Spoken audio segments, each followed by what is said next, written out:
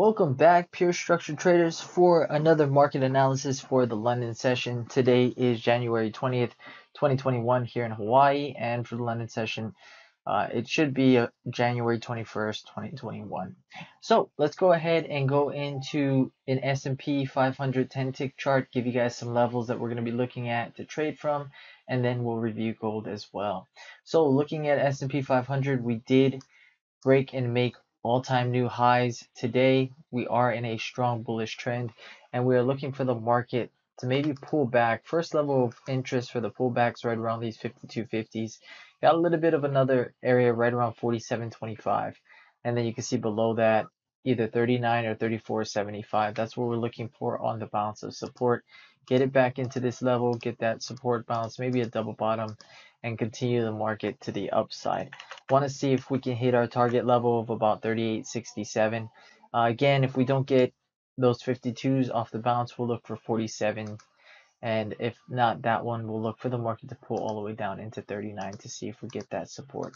Uh, been a lot of shallow pullbacks, especially for the um, U.S. session. We did have a lot of shallow pullbacks there, so um, we may expect maybe a shallow pullback in the London session and then a continuation. Again, I am looking for those 67s to be the target on the upside. So we'll look for that. Let's take a look at a five tick chart here on S&P, get a little bit of a closer view.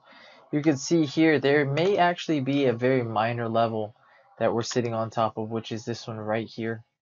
Uh, right around these 55s to as maybe low as well, 55, 75 to about 55 could be the actual bounce and continuation of the move, but that's a very minor level that you can look out for for the long opportunity on S&P 500. Other than that, I really wouldn't look for any shorts, but if you want to, I'd like the idea of getting underneath these 52s and maybe taking it back to 47. That would be my best short idea there. Now let's take a look at gold here, give you guys some ideas and levels on gold. Gold again too strongly bullish. We did come down for a little bit in the US session, but then we started to move our way back up in that bullish trend. You can see a couple levels that I'm looking out for either this minor level right here at 72.6 or the market come back into these 70s and get the long opportunity from there. Underneath, we got 68 to 66.9 as another level of a bounce of support. And then again, under that level, uh, we would probably drop somewhere right around these 64 to maybe 62.7s as an opportunity to try to continue. Underneath these 62.7s, we could actually see the market try to pull down a little bit deeper and get somewhere around this area of 54. Um, but uh, we are going to be looking for a continued bullish move since we are in a strong bullish trend. Let's take a look at a five tick here on gold as well.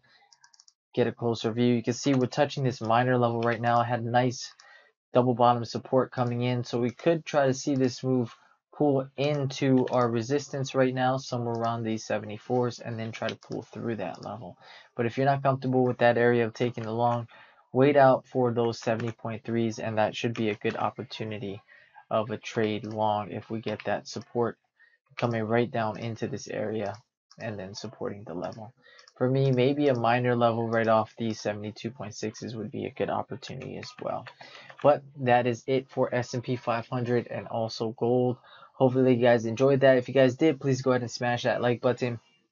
If you guys are not subscribed to the channel, please go ahead and subscribe. If you guys are, thank you very much for watching these videos. If you have any questions, feel free to pop them in here on YouTube, or you can uh, go onto our website and email us.